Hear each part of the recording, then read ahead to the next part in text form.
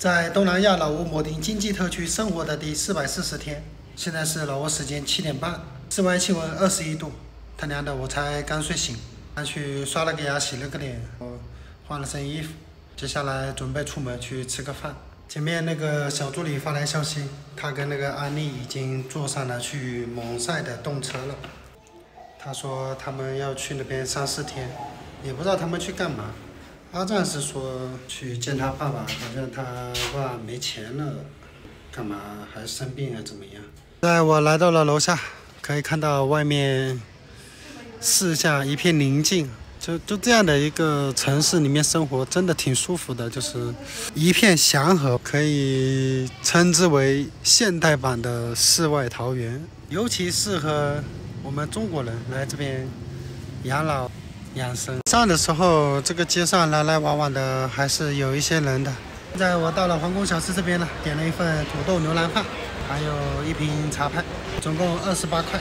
很多人不明白为什么我的都是什么腿啊脚都没有拍脸什么的，因为这是个特殊的城市，来这边玩的人他不方便让别人知道他来这玩，在这边工作的那些老挝妹、越南妹，他们也不方便让认识他的人。知道他在这边工作，所以就只能是我跟阿赞露脸，别的人都不方便让他们露脸，所以都是腿。现在我的土豆牛腩饭热腾腾的出锅了，接下来开吃了，兄弟们。现在我吃饱喝足了，接下来骑上我的电动车到处溜达溜达，我，去看看有没有快递。现在我到凯宏批发部这边了，它这上面这一片停电了。他两个在折腾的发动机，看来要明天再过来呢。在摩丁这个南部这里，好像新开的店倒是多起来了，灯光也都亮起来了，但好像就没什么人。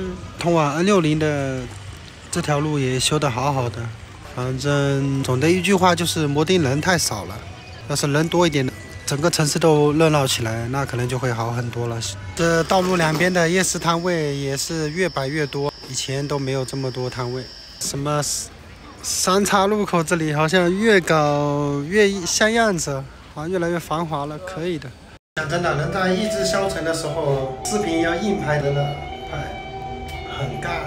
可能以前看着那些呃风景什么的，能说出很多东西来，但是现在就跟那黔驴技穷一样。现在我回到了家里，接下来继续养生，继续摆烂。真的，现如今的我已经失去了号召力，也失去了凝聚力，而且这种事情是不可逆的。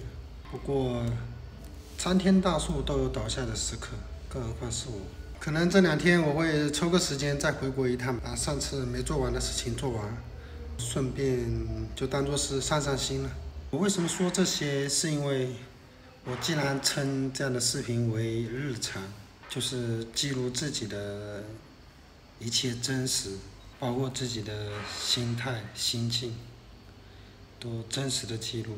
你可以把它当成是一个自传，又或者是把它当成是一个故事，记录着一个人从开始到过程到结束这样一整个完整的经历。通过看别人的故事，也许能够让你对人生有更深一层的感悟。